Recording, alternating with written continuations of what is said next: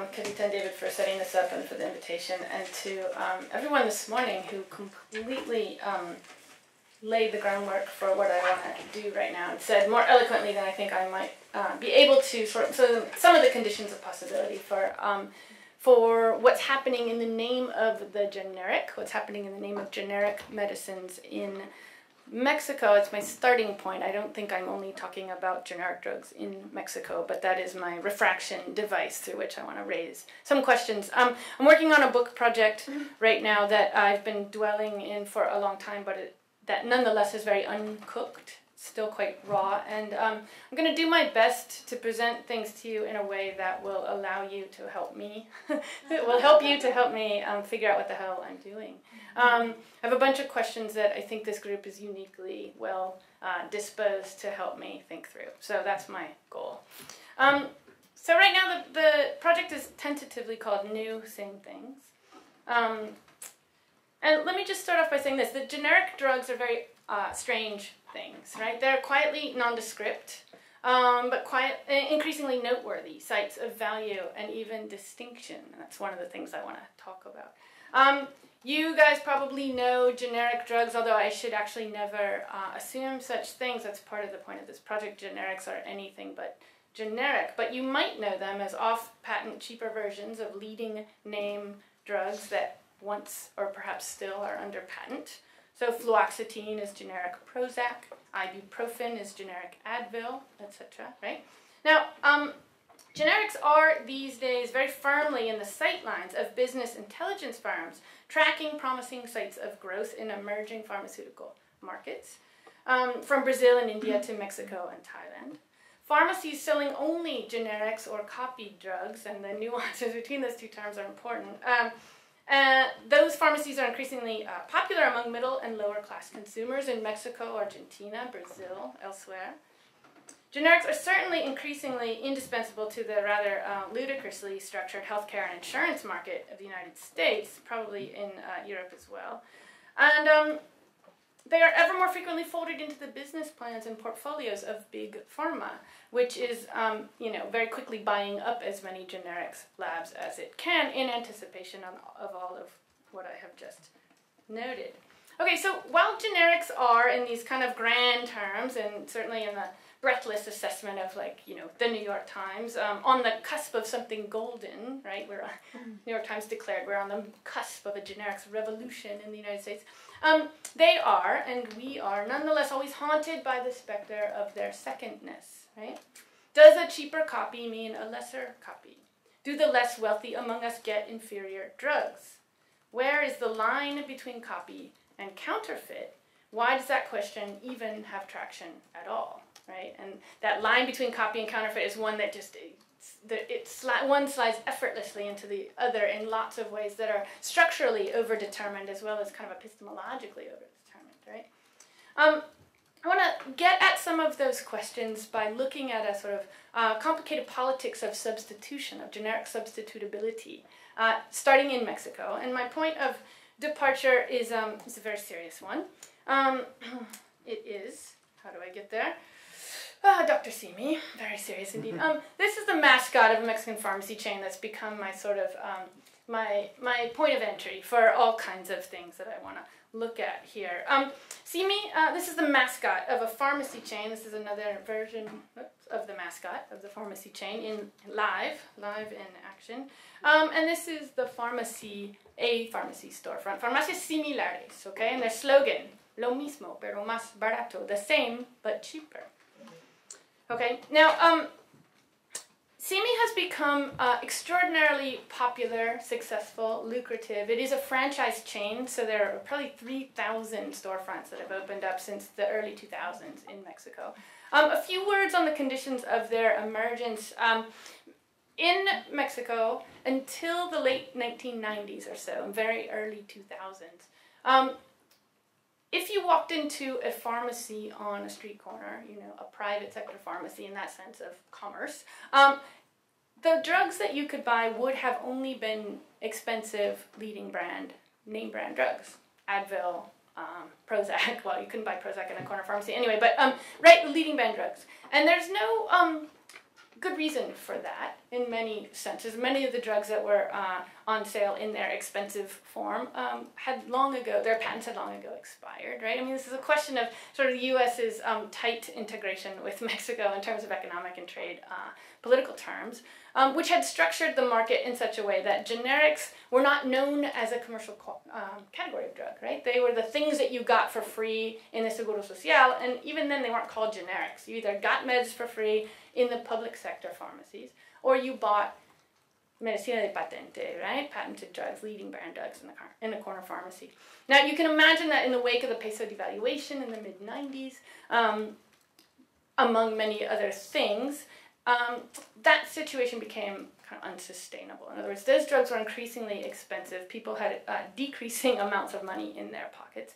And um, medicines became unavailable in a kind of broad sense of affordability. So we're not talking about particular HIV um, drugs or particular drugs for particular diseases in the format that Achal was talking about. We're talking about a broad sense of general affordability, right? So the government um, did what a lot of governments have done recently, including the United States in the mid 1980s, um, including Argentina in the early 2000s which was to um, try and um, declare, decree, set in motion, uh, configure a new market, right? A market for a new thing called generic drugs, yeah?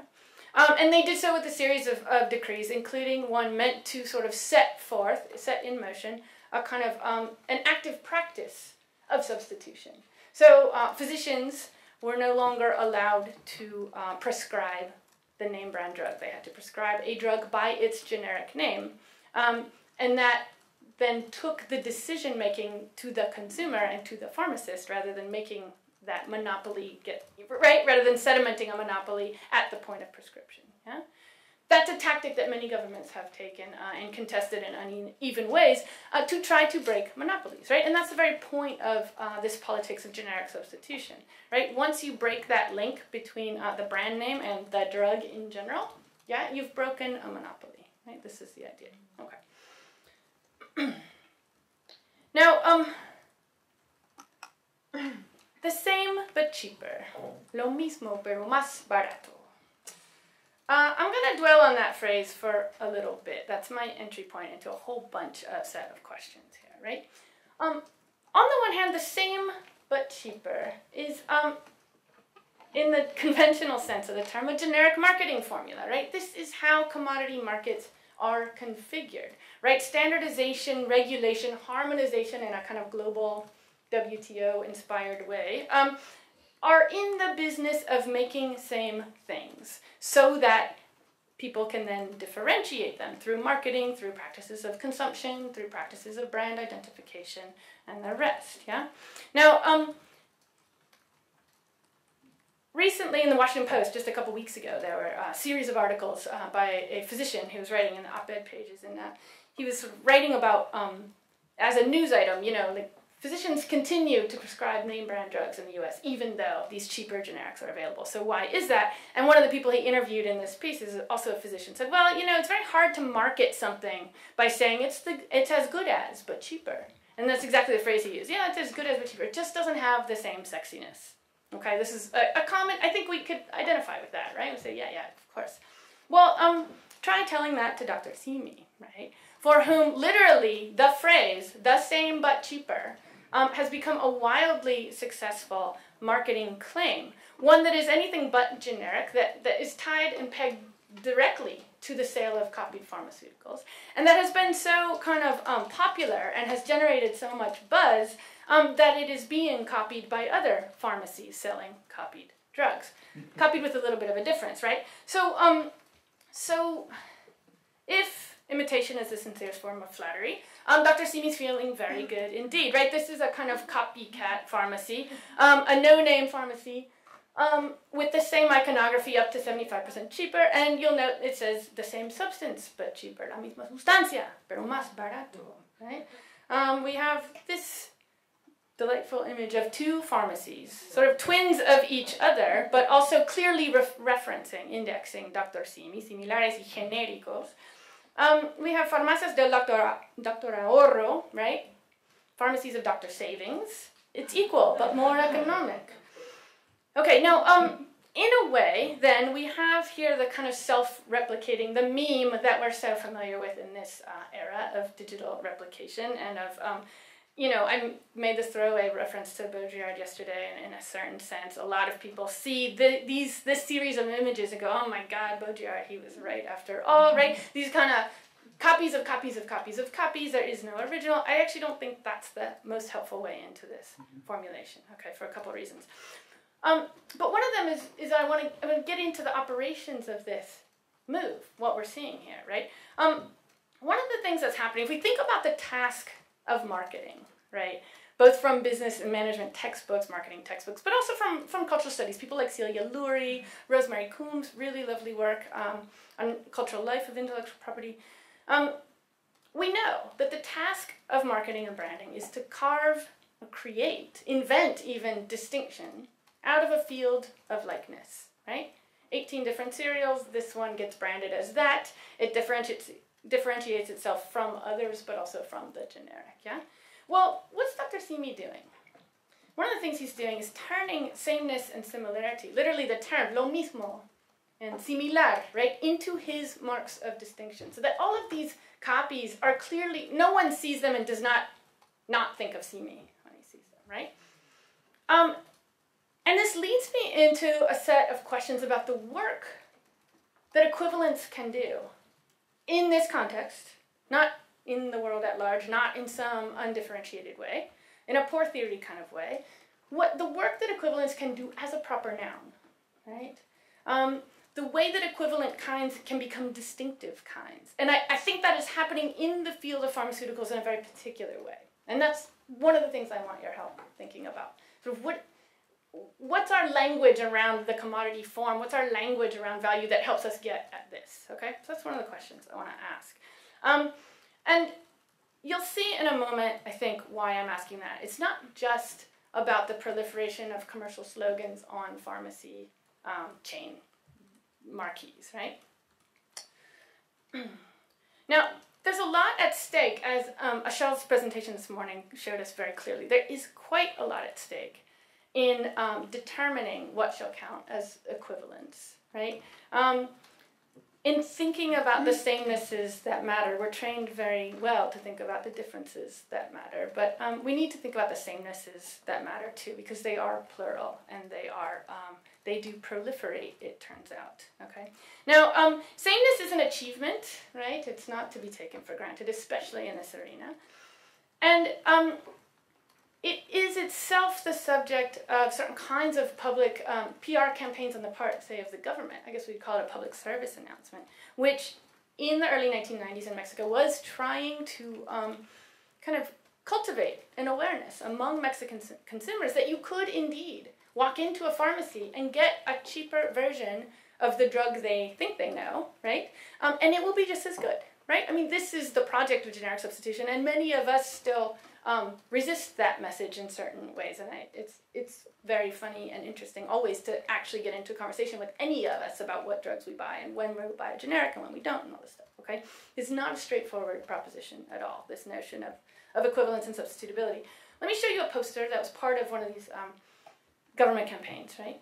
Um, it's the lime popsicle campaign. It's brilliant in its um, earnest simplicity. Okay, so remember, three popsicles taste good because of the lime. Okay, this is aimed at a sort of popular working class audience, right? La paleta de limón, super popular. Nothing could be more Mexican than a paleta de limón, right? Okay, the three popsicles taste good because of the lime, right? The three pills cure because of the active substance, right? What cures is the substance, the active substance. All right, now this is a kind of chemical reductionism that I'm very happy, for a moment anyway, to get behind right? I mean, my work on bioprospecting and the translation of indigenous knowledge into pharmaceuticals um, coughs up a whole other relationship to chemical reductionism where we're supposed to hate it, right? It, it's the thing that does violence to traditional knowledge. Well, here, a politics of substitution requires a kind of chemical reductionism. We need to believe in the, the substance, that pile of substance, right? And we want it to do its work, and we want it to be as good, right? We want that for others, and we want that for ourselves. We want that for a politics of substitution. now, it's a brilliant poster, I think, in part because it does not pose original versus copy, right? There's not a kind of, it's already level, right? This is an image of interchangeability, right? This is the project of generic substitution. You don't know that one of these came first. All you're doing is recognizing that different epiphenomenal forms, different surfaces, um, no matter what they look like, will contain the same essence, right? So counterpose that very straightforward, rather beautiful message to um, the array of things one might buy when one walks into a farmacia similar or a farmacia de genéricos or what, you know? One of these establishments. Okay. you could buy a regular generic. You could buy an interchangeable generic. Um, if you want to get precise about the kind of generics we're looking at, you could say, oh, these are branded generics because they're not being distributed for free in the Social Security system, right? They're they actually they're called like Bestafen in the way that in the States, you might buy a Walprofen or something like that. Um, and to make matters a little bit more um, complicated and exciting, um, a lot of people who buy generics, whether it's regular generics or interchangeable generics, so known in Spanish by their acronym GI, right? Los GI. Um, you might buy a regular generic or a GI in a farmacia similar, similares, right? But because you bought it in the similares, a lot of people say, ah, yeah, I just bought myself a similar, right? Me voy a me voy a comprar un similar, right? So I went to buy a similar, or I'm going to go buy myself a similar at Dr. Simi's, right? To which even the pharmacist said, Dr. Simi's, go, no, no, no, no, no. Like, no existe, right? There's no such thing as a similar. No, no, no. We sell medicines of quality, right? We sell generics, we sell GI, we do not sell similars, right? So, so an act of branding that's gone so well that the, the chain name is identified with what is being sold, and it's a, it's a link that Similares actually wants to break. Why? Because there's a representational politics at work here in which um, equivalence of certain kinds starts to get posed, counterposed, opposed to similarity, mere similarity, right? True equivalence versus merely similar, and you don't want to get caught on the wrong end of that continuum, right? Okay. Right as if it's clear. Anyway, I will move on. Um, I'm not, I, as I go on, some of this, this list will start to distill itself a little bit, but I'm not going to um, sit here and explain it to you right now. So I want you to sit with a certain amount of confusion because it's confusing. Um, but one thing it is not, okay, one thing this list is not, is simply a list of different terms for the same object or for the same thing, okay? This list is an ontological mixture, right? It is cross-cut by certain regulatory categories, by certain kinds of commercial designations, right? Branded versus not branded, um, similares versus anything that exists in regulatory terms, right? Um, and that makes the things that these terms refer to different from each other. Okay? And I just want you to hold on to that point. Um, there's lots of ways in which they're different. And I can go endlessly into the rabbit hole of all the ways in which they're different. And we'll go a little bit into that rabbit hole, but I'm going to try and keep it contained a bit so we can um, talk about all this. Um, let me just say that perhaps it's not surprising um, that in the midst of an explosion, and Charlie, you probably won't be surprised by this at all, in the middle of an explosion of pharmacies selling legally sanctioned copy drugs, right? These are not illegal pirated drugs. These are not um, counterfeit in any way that we might objectively call them counterfeit. Um, um, there's a market that in copy drugs that has really expanded in Mexico, and it is cutting into the market in uh, leading brand drugs. The, of course, the transnational drug industry that has a very strong uh, industry presence in Mexico. In fact, Mexico's national Camera or Association of Pharmaceutical Representatives is mixed, right? It has domestic industry representatives, but it also has industry representatives from Wyeth and Pfizer and other companies like that. Okay, so those guys have been very um, suspicious and very um, um, determined to do what they have done in, in the U.S. and lots of other places, um, which is to continually cast doubt on the equivalence of these drugs, which, given the proliferation of different kinds of sameness, is not actually that hard. Okay, so confusion works to the benefit of an industry that wants to make you think twice about what you're buying when you buy a generic, right? So, um, so for example, the um, there was a there was a kind of uh, PR campaign by the transnational industry that um, asked people, um, "Do you feel better?" This is directly directed at Simi, right? Do you feel better or do you feel similar? Right? ¿Te sientes mejor o te sientes similar? Right? And and so okay, so these kinds of doubts are circulating at all kinds of levels. They're circulating at the level of confusion, right? Like, eh, what's a generic? What's an interchangeable generic? What you know? Okay, so there's confusion at that level, and there's also this deliberate sowing of doubt, you know, in that way, which is quite brilliant itself. Um, and so you might not be surprised that um, people in Mexico, when they're asking questions about this, and they're like engaging with these practices too, they have their own kinds of um, of taxonomies and ways of making sense of these of these differentiations and samenesses, right? And so, um, you know, some people would say to me, "Oh yeah, you know, like this guy who um, is an importer of medicinal plants from Central America." He says, "Yeah, you know, generics are just like um, plants, right? They're pure. They're stripped of all the hype and the packaging and the bullshit, right? They are pure, pura sustancia, okay." Other people are talking about taking generics the way they take homeopathic medicines, like it's kind of an alternative medicine, right? Um, people have their ways of trying to figure out what the hell is this, right? Um, and I had I can't tell you the number of conversations I had, usually with people who we might consider kind of working class, popular, popular class folks, um, who um, would say, I think, somewhat having absorbed this sort of de siente similar campaign, but not quite buying it, right, would say things to me like, you know, yeah, claro, of course they're the same. Of course they're the same. Maybe they're a little watered down, hmm? right? Or maybe they don't work as, as fast, so you have to take two. So I, I got all kinds of, you know, sort of musings like this. But they're the same. Of course they're the same, right? Quizás vienen rebajados, pero son lo mismo. Okay? Okay, so people are, are um, finding ways to hold on to a certain tension. The tension that's actually embodied in a certain way in uh, Simi's slogan. Yeah, the same but. Okay, now price works as an obvious differentiator there if we're just talking about the configuration of a commodity market, but there's something else that's working here too. It's not just price. It never is just price. Yeah? So let me go to a, a kind of another, um, I'm going to bastardize that phrase a little bit, if I may.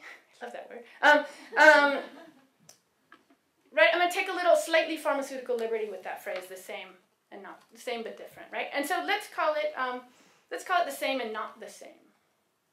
Same but cheaper, same and not the same. Now it's a phrase I actually take from pharmaceutical chemistry, and I'll explain to you why in a second. But let me just um, point out, okay, this is a list of domains of practice: pharmaceutical chemistry, quality control, um, pharmaceutical regulation, right, harmonization, all these things that kind of work at the national level but are always already kind of wrapped up in processes of, of harmonization in you know Mexico's relationship to the US. These are arenas that we would look to and that we would assume, even from the literature on standardization, right?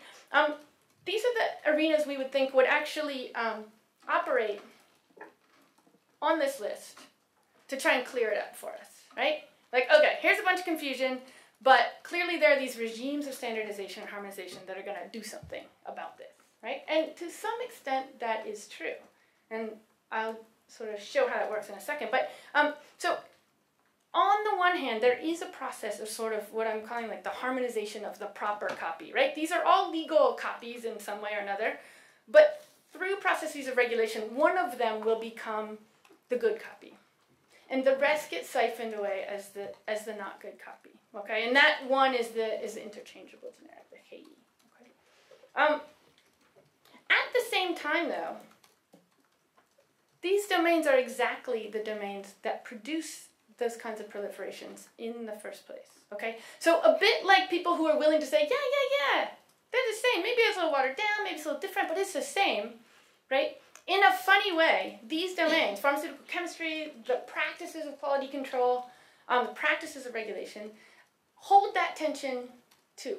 Okay, and they hold it very well, and in fact, they produce it.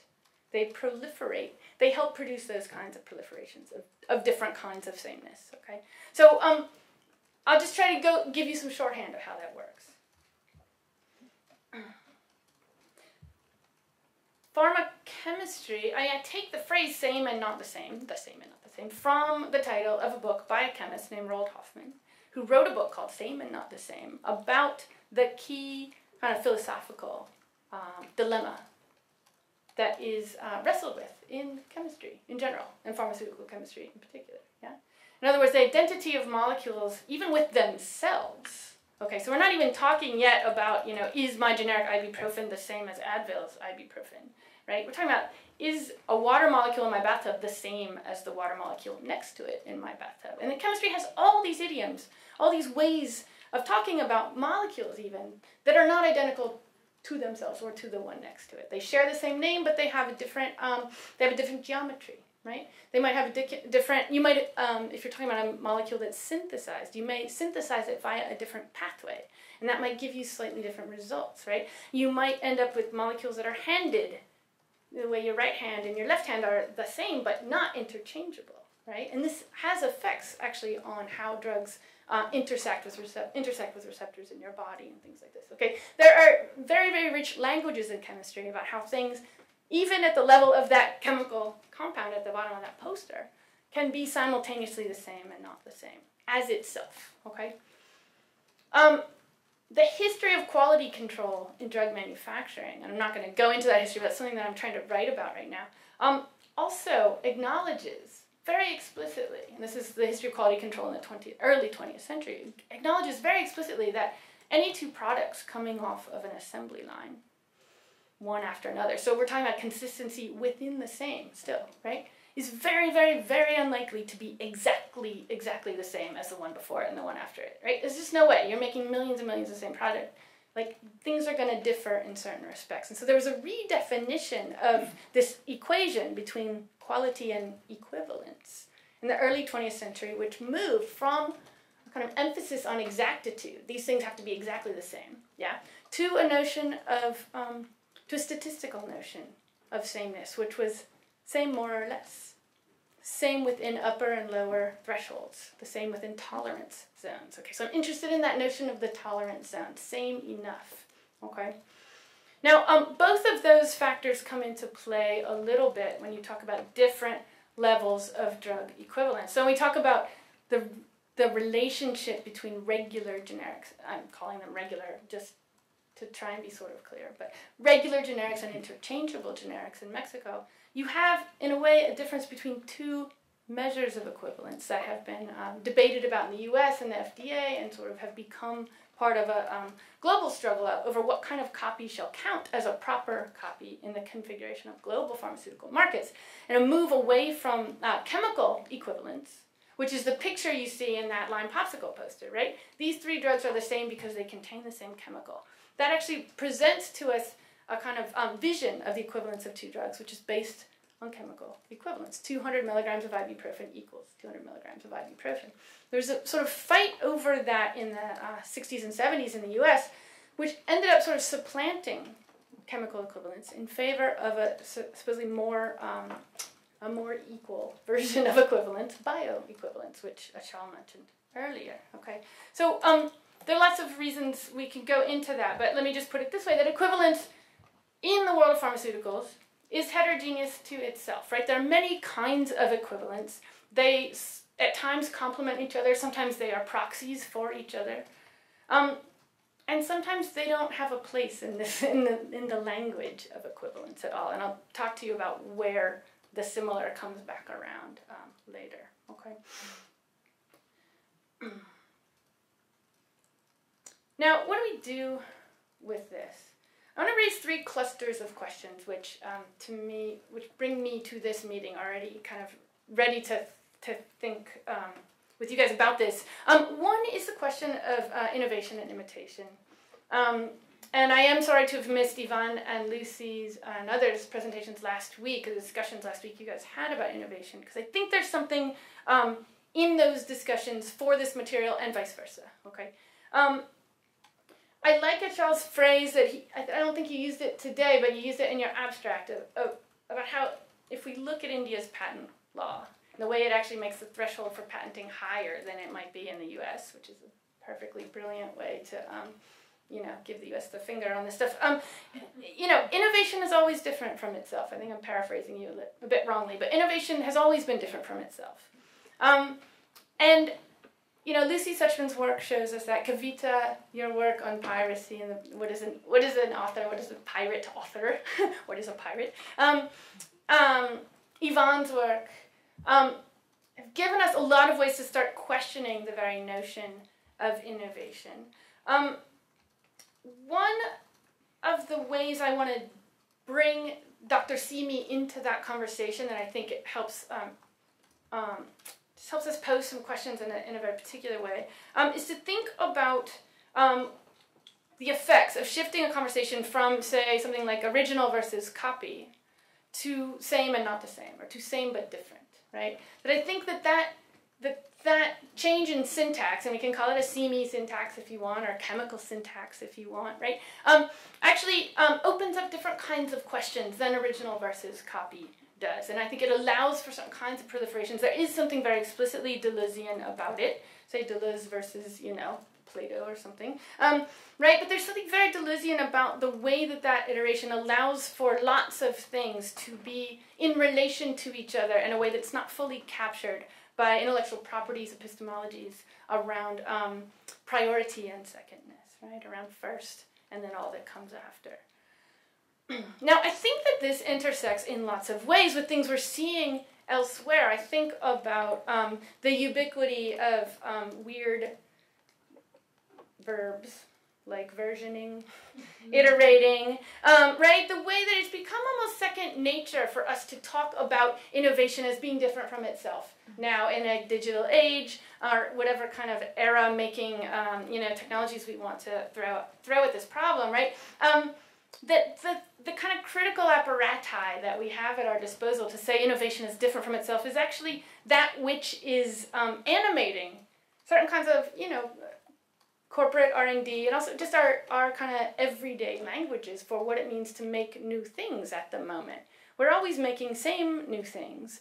And that recognition isn't doesn't work as expose to, to bring that question back, right? It's part of the language of innovation right now, right? Um, and there's even been, like in the business and management literature, um, a kind of resurrection of, appropriately, something from the 1930s and 1940s on this point, right? Joseph Schumpeter's definition of innovation as the recombination of existing elements, right? That that has come back into favor, not as like an aha gotcha moment, but like, yeah, that's what we, that's not just that's what we've always done, but oh, that's what we need to do, right? Um, so that I think it's very easy for us to talk about that as standing in for creativity and innovation right now. And I think we need some critical languages around that, yeah? Now, um, if innovation is always different from itself, so too is value. And I want to ask this audience some questions about how we think about the production of value, right? Um, in this kind of context and other kinds of contexts. Um, you know, Marx was, of course, I think, the first and probably best ethnographer of, of equivalence under capitalism. And, you know, you think, on the one hand, he's very clear, and we use the, the notions that come out of um, Capital Volume 1 very readily, that equivalence is the kind of um, the engine of value production under capital. We need equivalence as an abstraction to make that system run. It does violence, right? Um, at the same time, Marx was very clear that equivalence not only is unnatural in this certain sense, right, but that it's always different from itself. And he talks about, for example, if we think about relative value, in Marx, right? Where he talks about how, you know, you make an equation, A equals B, right? 20 linens equals one coat. Yeah? If you reverse the position of the linens and the coat, forgive me, those of you who know this by heart, you reverse the position of the linens and the coat, right? You have a different statement. You still have an equation, but the valuation, it's a quantification that's a qualification. The value um, what's being measured through what changes. And and it's very easy to do that thought experiment with generics and original drugs. So so I've even done it in this paper and in this work I often say, okay, the, so the point is to show that the generic is equivalent to the name brand drug. Well, it sounds really different to say the task is to show that Advil is the same as as generic ibuprofen, right? Like, you know, the way that the syntax works already puts the burden on one thing to be measured against the other thing, right? And Marx was very, very clear that that is a way that equivalence itself kind of undoes itself from the inside, right? Now, um, why should that matter to us here? I, I have some questions about how this stuff of versioning or iterating or making same and not quite same things in pharmaceutical world um, speaks to the way we tend to talk about post-industrial capitalism or post-industrial economies or information economies. And here I actually want to ask you if I'm um, if I'm making some mistaken assumptions here, okay? But um, I think we tend to talk about the information economy again, a kind of you know at least late '90s, late '80s, late '90s um, version of things. Um, by putting the emphasis on the work of branding, of marketing, of signage, right? Signs and symbols. Um, and in part, it's related to this idea that, that marketing and branding create all kinds of value on top of what is essentially this kind of numbing sameness of commodity things, right? Um, that, that we no longer pay attention to making new things. We just re engineer our relationship to brands. Yeah, I think that's a fairly commonplace um, I might be wrong about that, right? But I think that's a fairly commonplace, maybe sort of cultural studies-ish formulation of where value comes from in an age of sort of consumption, right? Mass consumption. Um, and I think one of the things that that formulation does of interest to this group in particular, I think, is that it cedes sameness and it cedes things, right? It cedes the commodity as already being identical. And the way we talk about commodity capitalism as the reproduction of certain kinds of equivalents. And I think if we look at pharmaceuticals, generics, or even originals, and all the ways that they can actually be different from themselves, and I haven't gone into all of that. There's like a hundred different material ways in which um, two drugs can actually be the same as, but but totally different from each other, in lots of ways that are not scandals, but that nonetheless um, confound our notions of exact uh, sameness. Um, so if we actually try and think again about what the commodity does, if it's not the same, if it's actually um, sort of generating all kinds of inequivalency, right, very comfortably, frankly, um, what does that do to how we talk about where value is coming from, right? And so somewhere in there is this is this uh, conflation that we often make between value and distinction, Okay, the things have to be slightly different from each other in order to um, generate something called value. At the same time that they have to be the same. Okay, um, now there are a couple people who I find useful for thinking about this stuff. Okay, one of them is uh, Jane Guyer, who's an anthropologist, uh, economic anthropologist who works um, for a very long time, very established Africanist. And um, she has a really beautiful book called Marginal Gains. Um, and in it, she's interested in kind of revisiting sort of generalized theories of value, not as general theories of value at all, but like thinking about them from the ground up. which is very detailed engagement, rereading of both the kind of ethno-historical archive and her own ethnographic work in West Africa.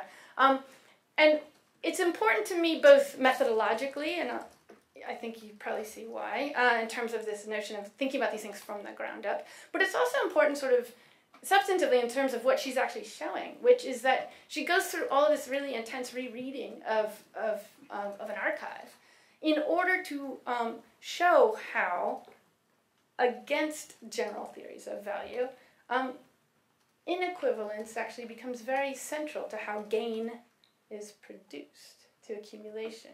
Okay, um, and so far from confounding our notions of how capitalism works and all this stuff, inequivalence is actually really central to how um, to how gains are operationalized, at least in the context that she's talking about. Okay.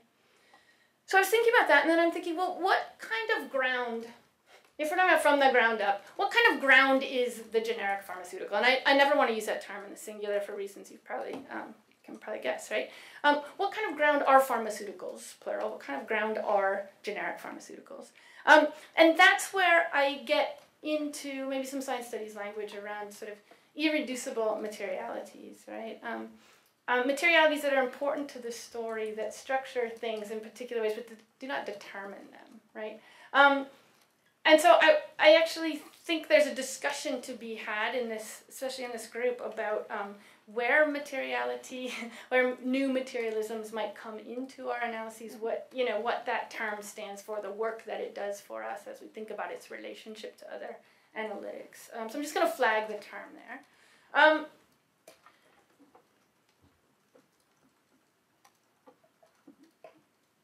and there's also these are just these are just words.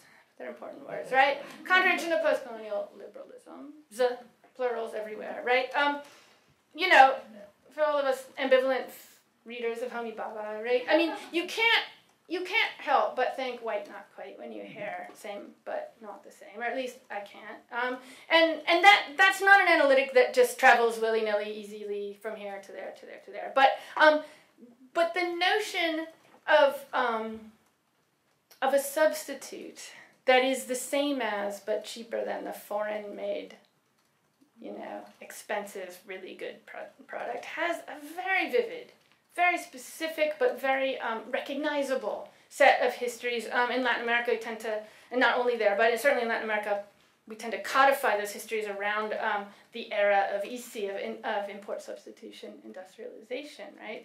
Um, you know, an economic and political paradigm that structured the better half of uh, sort of national trade policies for the uh, 20th century, um, right, in which the production of national substitutes, electrodomésticos in Argentina, right, domestic appliances or cars or refrigerators or, you know, um, petroleum catalysts in Mexico, um, right, the, the, the production of the national substitute, and that's very much how Simi organizes his kind of rhetorical project as well. It's not just in terms of the market in a, in a narrow sense, but like protect your domestic economy, he says, by which he means household and national, right?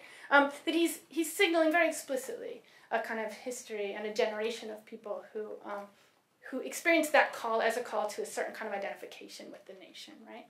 Um, and yet with a difference. Yeah, I mean, he's doing that kind of through the guise of the market and with an explicit attack on the state. Okay, so there are lots of resonances there, lots of sort of uh, histories we can trace out there. Um, but obviously, in the midst of all that, too, is a, is is a quant, you know, a quantification that is a qualification that, that undoes itself at every turn, which is the promise of equality, like promise through liberal citizenship, right? And people see this very explicitly, and especially in these worries, right? Is this a is a cheaper copy a bad copy, right? Um, and and it's almost it's conceivable that no matter what kind of um, regulatory proof is offered, that yes, they are the same, that that that will be a story that will be impossible to undo in certain ways. Um, both because it's to the transnational industry's interest to um, foment that story, but also, but not just that, that's too easy, right? That there is um, a, a very deep um, sort of experience people have. Um, that there are, of course, stratifications in, um, in all kinds of things, in markets, in access to, to things, and in the promises of sort of citizenship um, that make it very, very hard to talk about equivalence in an unmediated, unqualified sense right? Equivalence just for its own sake. Um, now, finally, with that point in mind, you know, I mean, we, we the history of bioequivalence um, in the U.S. and then as it gets harmonized, it becomes a gold standard in Mexico and India and other places, um, is one in which, you know, equality is conflated very easily. Equivalence becomes the necessary condition for quality, right? And there are lots of ways in which pharmacologists can give you a million examples in which you know the generic has a radically different bioequivalent curve than the original, but it actually works better. Okay, like there's no reason why inequivalence ends up falling on the um, you know on the generic as being the bad copy, right? But of course, there's every reason why that continues to happen. Um, but it that formulation forces us to ask right? To, to what extent is same enough good enough, right? And that's the truce that these regulatory categories and all kinds of categories sort of make, you know, sameness within sort of upper and lower limits and all this stuff. There's a kind of truce that gets made, right? In which sameness, same enough becomes good enough. And then you think, well, what are the politics of advocating good enough, right? That seems like a very, um, that's a very measured thing to ask for good enough. Yeah. And so, um, but it's very much at stake, I think, with the politics of generic, and not in strictly technical terms, right? But in terms of its political valences, its uh, historical resonances. Um, you know, and so I, I'm just struck with the phrase, and I want us to sort of think about where that goes, what it means. Um, and and the final thing I want to um, kind of throw out to you. So it's a series of provocations, series of questions. Um, I don't know, uh, Joe Dumit, I don't know if in your presentation you talked about the even more. Did you talk about the even more that was in your abstract? You should have talked about it even more. Um, so Joe brought up this phrase, the even more, right? Um, in his abstract, which, as far as I understand it, is sort of asking us to think about where, where does the even more of capitalism and the, the pharmaceutical risk stuff, especially, um, where does it intersect, or to what effect might it intersect with the even more of a kind of scientific curiosity, um, or with Stengers' kind of queries of what nature can tell us or what we can do with it in some way? Um, and I was very, very, very struck by this notion of the even more. And um, one of the things I'm trying to figure out in relation to generics, in relation to um, sameness and similarity and, and in, interchangeability as proper nouns that actually distinguish. So the interchangeable is different from the equivalent, is different from the similar. Okay, so I'm I'm some sort of straightforward political economic analysis might say, and I think this is actually probably right in lots of ways, um, we've run out of ways to make new things. This is a stock story. We've run out of ways to make new things, and there's only so much value you can squeeze out of um, Me Too drugs and whatever. And so now value, I don't, I don't normally talk in these terms. Now value is cannibalizing the same, right? It is finding ways to make value out of different kinds of sameness by making differences in the name of sameness. Okay, so there's a weird kind of cannibalization. So I think we could go there, yeah. And if that's happening, I think that the good enough itself, which sounds like a kind of closing down almost, a good enough is like, yeah, there's a kind of wilting affect to the good enough. But I think, uh, affect, but I think there's a way that this generic stuff is giving us a site where the good enough is meeting or becoming the even more right? It's it's proliferating right? Sameness is kind of proliferating other kinds of samenesses which become ways for people companies capital markets i don't know what um, to carve out particular kinds of niches and to demand allegiance and for people to identify right? And so um, i just i just want to end on that. That's just like a craziness. But um, anyway, I thank you for your indulgence, and um, I'm really curious to hear what you have to say. Okay,